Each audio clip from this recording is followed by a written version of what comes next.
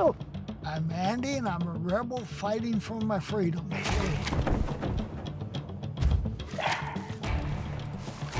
I am a saver. I don't believe on throwing stuff away if I can use it later on down the road. Maybe that's why I'm different than most people. I'm Becky and I'm a housewife. There's ever a big disaster, we could probably live at least a year without needing for anything.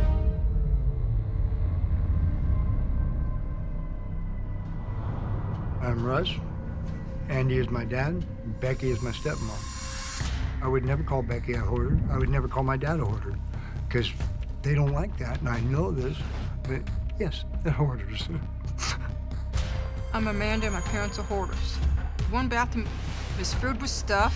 Can't even get in it. The bedrooms are floor to ceiling, front to back, filled with stuff.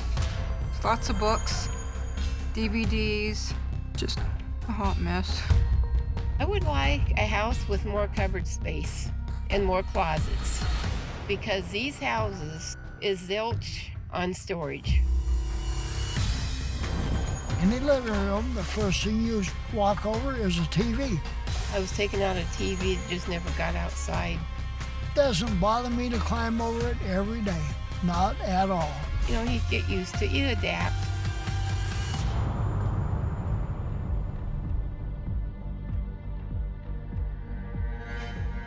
It's like big explosion. Like if you if you touch it or look at it funny, stuff would just fall down. Damn it. I had this stuck way back in here. You'll walk past something and it'll fall or pop out on its own. Oh, he tells everybody, don't step on anything. that's my medicine bag. And I don't know how it got there. It's like, it's not my fault. You're the one who put it on the floor. I know where to step and I consider myself having a good sense of balance, like a mountain goat.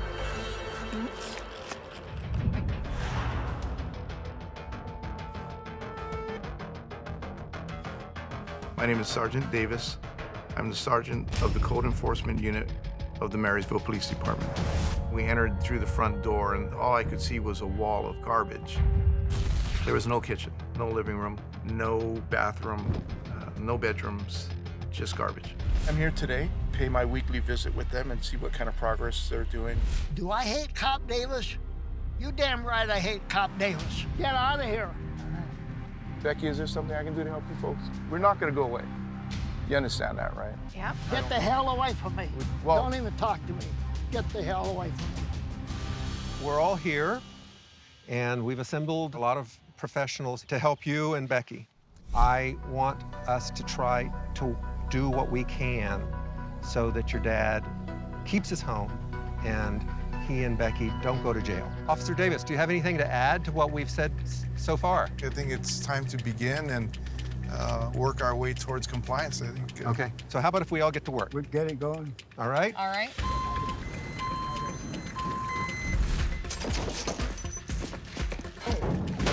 Yeah, all books saved. You want to say Saved. I, I don't know if it's Dad's or Becky's. It, it could be his stuff, it could be her stuff. What's, all right, Can you take this down? take it down.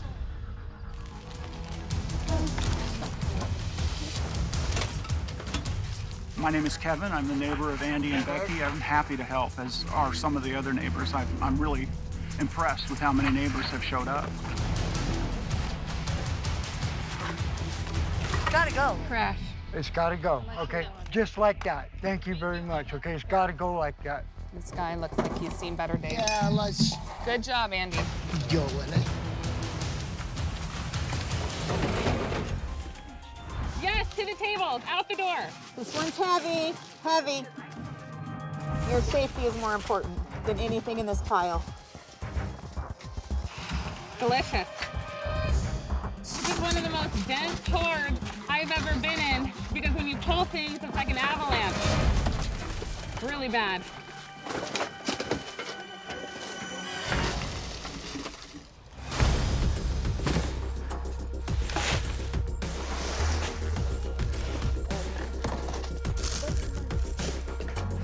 We have the kitchen done, bathroom clear, people are working on the hallway. Andy gave us permission to clean the laundry room. Um, what's the update? So we need to get them another exit out of the house. They have to have another egress. That front door is the only way in and out of this house. Excellent. We Let's could go. we could carry into this. We could get this done in no time. Yeah. All right. Sound good? So you gonna open the door, Russ? Okay.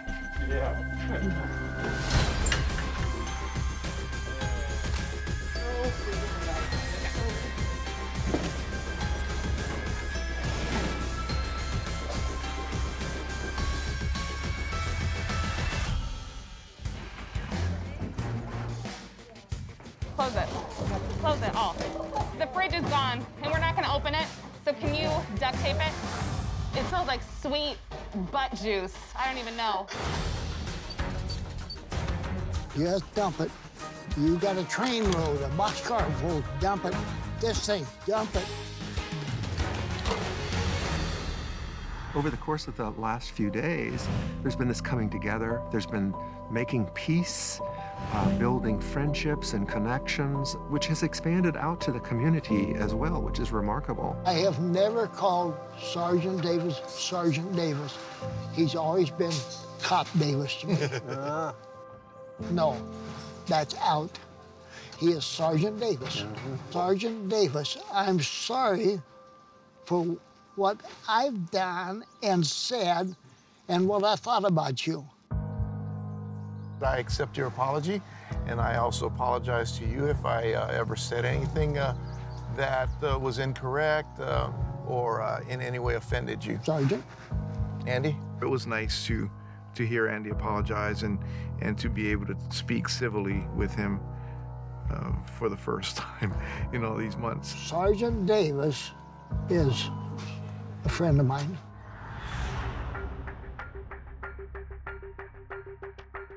We can actually all four stand in one room. But At least they have access from the front door. They have access in here. They can actually start cleaning kitchen, get the kitchen used. They have a way to get out of the back of the house through the garage. Right. There's still a lot to do in the garage. We've created a good living space. I think they can function normally. I can't speak on what's inside of the bedrooms. They still have a lot to do.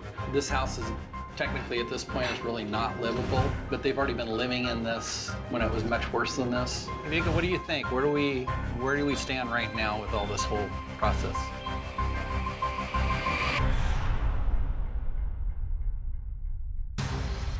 I got word from my crew that 40 trucks left the premises and a total of 160 tons were taken off of this property. 160 tons. I can't fault anybody who allows 160 tons of trash, recycle, and disposable items to leave their property. I'm very proud of Andy and Becky, and though they have a long way to go, they've gone leaps and bounds above what I anticipated for this week. Well, you've done a great job. 160 tons is a lot of stuff that got hauled out of here. Estimate is it's probably 60 plus more tons that's got to get out of here at some point. And um, we want to work with you on that. As of right now, technically you're not in compliance still. You still have a ways to go, but you are so much closer. I'd like to add something, Andy. Um, uh, early January, we had a brief meeting and we talked about coming into compliance, and if we could not, that the city was going to move towards the abatement portion and all that stuff. Well, I, I just want to put your mind at ease that uh, that is not no longer a concern uh, as of today. We're going to continue to work with you folks and and uh, try to move this thing forward.